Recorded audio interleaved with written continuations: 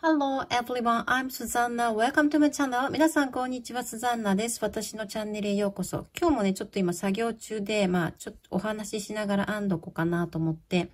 お話ししようと思うんですけど、今日の話はね、ベリベリホットの話なんですよね。何そのベリベリホットってって思われるでしょ？いや、あの、結構それが 面白いお話で、あの、ちょっと、1、2年前まで、何年が、1、2年前 ?2、3年前？あの、うちの近所にはね、美味しいインド料理屋さんがあったんですよ。そんなに長くはね、続かなくてちょっとお引越しされてしまっちゃったんですけど、で、一時期すごく気に入って、もう週一でかな、週一では必ず行ってるぐらいのペースで行ってたんですけども、そのインド料理屋さんっていうのが、あの、本当に可愛らしいね、インド人のね、男の子二人がしてるお店で、で、すっごくピュアなんですよね。あの、聞くと、まあ、インドなんだけど、インド人なんだけど、ね、国籍はネパールっていうことで、で、その、そのあたりはもともとインドだったから、みんな同じその言葉も話すし、インドなんだけど、でも、あの、地理、地理的にはネパールなんですよっていう話だったんですよね。で、それのせいもあると思うんですけども、すごいピュアな人たちで、めっちゃ可愛くて、で、しかもね、そこのインド料理屋さんはね、あの、お昼がランチタイム700円ぐらいだったかな多分700円か750円で、で、あの、サラダと、それからカレーとナンがついてくるんですよ。で、ナンも10種類ぐらいある中から選べるんですね。チーズナンだったり、ガーリックナンだったり、ミンチナンとかいろいろナンがあって、そのナンも自家製のナンで焼きたてが出てくるんですけどね。もう、こ、こ、これぐらい大きい、これぐらい大きいんですよ。あの、はみ出てるでしょ？はみ出てるぐらい大きいのもすごいボリューム。で、カレーも10種類ぐらいあって、その中から選べるんですけど、そのカレーの中でね、もう格別美味しかったのがシーフードカレーでして、そのシーフードカレーがね、もうまるでビシソワーズなんですよ。ビシソワーズっていうのは、エビとかのね、殻をすりつぶして、その味噌とかもすりつぶして入ってるから、すごく濃厚なシーフードスープ。あの、シーフードカレーというよりシーフードスープって感じなんですよね。で、それに香辛料が入るんですけど、で香辛料も、あの、辛さが10段階ぐらいに分かれてて、その中から選ぶんですよ。で、私はリトルホットだったかな。で、なんか、あの、私の周りの人はあんまり辛いのが得意じゃない人が多くて、だから結構そんなに辛いのは食べなかったんですけど、で、うちにね、その時々月1ぐらいで来てくださる業者さんがいたんですよ。その業者さんが来ると、まあ、だいたいいつも、ついでだからお昼ご飯食べに、一緒に食べに行きましょうって食べに行くんですけど、で、美味しいカレー屋さんができたから一緒に行こうって言って、行ったんですよ、そこ一緒に。その人はね、あの、結構よく海外旅行とかも行く人で、で、私もその、なんていうのかな、そう、すごくほん、それでね、あの、明るくて、おしゃべりも上手で、本当にその、なんていうのかな、営業、営業上手な感じなので、結構こう、辛いものも大丈夫なんじゃないかなと思ってたんですよ。そしたらその人ね、実はお酒も飲めないし、辛いのもすごく苦手な方だったらしくて、で、それでなんかカレーの辛さを選ぶのに、どれにする？って言ったらもう、もう一番、一番辛くないのって言われるんで、なんかその一番辛、辛くないやつお願いしますって、そしたらそのインド人のね、オーダーを聞きに来てくれる人がオーナーのお兄ちゃんなんですけど、あ、赤ちゃんのですね、赤ちゃんのですね、お子様のですね、とかって言って、わかりましたって言って、あの、オーダー通してくれたんですよ。で、出来上がって順々に、あの、みんなの前に、カレーが運ばれてきて、最初サラダから出るからサラダこう食べてるんですけど、で、なんかそれでカレーが運ばれてきたんですよ。で、なんか、こう一人一人置いてくれるんですけどね、もう誰が何頼んだかも覚え、分かってるから。で、もう一人厨房の中でいつも働いてる男の子がいて、で、その子はね、普段そんな全然喋らないんですよ。おとなしい感じの子でね。可愛いんですけど、その子がね、持ってきたの。その人の分を。で、あの、私がリトルホットとか食べてるから、頼んだから、あの、自分も間違って辛いの来たらどうしようとかってその人なんか、そわそわし始めちゃって、すごくそう、あの、お酒も飲めないし、多分本当に苦手だったんだと思うんですね、辛いのが。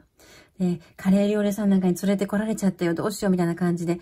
赤ちゃんよって言ってもめっちゃ辛かったらどうしようとかって思ってたみたいで、なんかもう持ってきたやつ見て、これ、これ、辛くないやつ？これ、マイルド？マイルド？って聞いたら、そしたらね、いつもはすっごくおとなしいその男の子がね、にったーって笑ってね、ベリベリホットって言ったんですよ。そしたらもう、その人、えベリベリホットなの。でも、はぁみたいな感じになって、そしたら その男の子が、嘘嘘嘘嘘、あの、ベリベリマイルド、持ってって、その後もその人ね、もうほんと心配になっちゃったみたいで、食べ、食べていいのかどうか、辛かったらどうしよう、辛かったらどうしよう。って、なんかもう、はぁ、あ、みたいな感じでなってたから、大丈夫だから食べてみて、って言って、食べてもらったら、うん、美味しい、ベリベリマイルドってね、食べてたんですけど、その、ベリベリホットのね、いたずらがね、もうほんとおかしくて、え、そんないたずらする子だったんだ、と思ってね。あの、本当にね、そういうとこ、無邪気なところもね、なんか、すごくその、あんまり私も本当に飛行機とか乗らなくなっちゃったから、海外旅行も全然行かなくなっちゃったので、あんまり海外旅行とかも行かないから、久々の、久々のね、そういう、日本ではそういう遊びってなんかちょっとご法度みたいなところあるでしょ？だけど、なんかそういうちょっとしたシャレっ気のある、茶目っ気のあるいたずらを見れてね、結構ね未だに時々思い出してはね、笑ってるんですよ、一人で。ベリベリホット。ベリベリホットっていうのは、なんかとてもとても辛いっていう意味で、ホットってスパイシーのことなんですけど、スパイシーと言わなくてホットって言うんですよ。ホットっていうのは辛いって意味なんですよ。で、辛くないっていうのはマイルド？って言うんですけど、そうそうそう。で、そのお店は、あの、今は吉祥院の方に移動して、あの、お店はね、山口県に本社がある、タンドリマハルっていうお店なんですけれども、あの、タンドリマハルさんは山口県に本社がある関係で、まあ、シーフードカレーがね、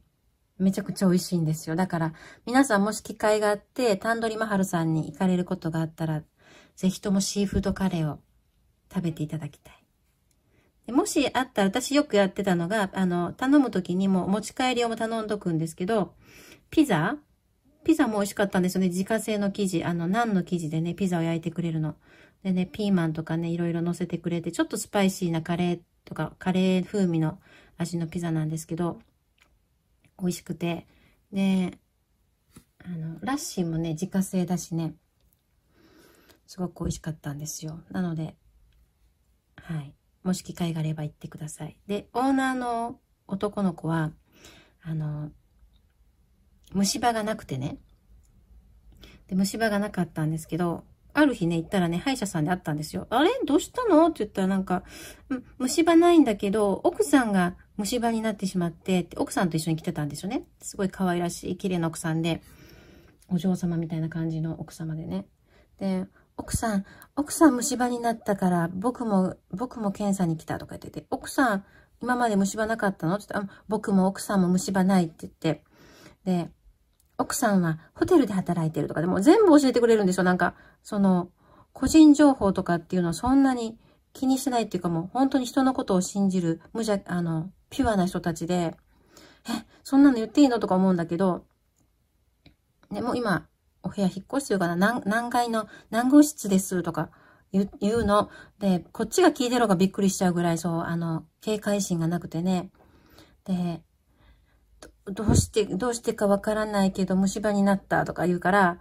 で、奥さんホテルで働いてるし、もしかしてまかないとかで移ったんじゃないかなって話をしてたんですけど、そっか、聞いてみようとかって言ってたんですけどね、そう、虫歯がないんですよね。羨ましい。そんな感じでね、あの、たまにね、そういうピュアな人に会ると本当に心が洗われるっていうか、ああ、あ、いた、いるんだまだこういう人世の中にって思うんですよね。それが結構本当に。だから、そのお店がなくなっちゃったのはちょっと私的にはすごく寂しいんですけど、あの、オーナーの男の子はすごくいい子で、その、ベリベリホットの男の子がね、ちょっとあの、お店閉まりそうなので僕買いに行きたいものあるから先に仕事上がっていいですか？とかって言って、で、なんか出てっちゃったんですよ、お店から。で、あ、出てっちゃったけども、私たちもまだ食べていく早めに食べて出てった方がいいよねって、あ、大丈夫、大丈夫。って、あの、あの子は、あの、ヨドバシカメラに、ヨドバシカメラで買い物があるから、バスの時間があるから行っただけとか言ってね。で、そうやってその、ちょっと仕事のの時間より早いんだけど、そういう買い物とかがあったら、いいよ、上がっていいよとかって言ってくれるような優しいお店で、だからそういう、なんていうのかな、家族的な付き合いっていうのが、こう、希薄に最近日本はなってますよね、特に。でそう、チェーン店も増えてるしね、なんかそういうのを見るとね、あったかいなと思うんですよね。で、いいなって思うんですよね、その、その優しさがね。そんな感じで。そう、だから、もし皆さん、あの、ご近所の方とか、機会があれば、行ってみてください。すごくいい人たちなんで、あの、ちょっと、こう、なんていうのかな、考え方が少し変わるというか、命の選択っていうか、そういう感じになると思う。多分ですよ。多分だけど、なると思うな。はい。というお話でした。また、じゃあ次回お会いしましょう。Thank you for watching. See you next time. Bye bye.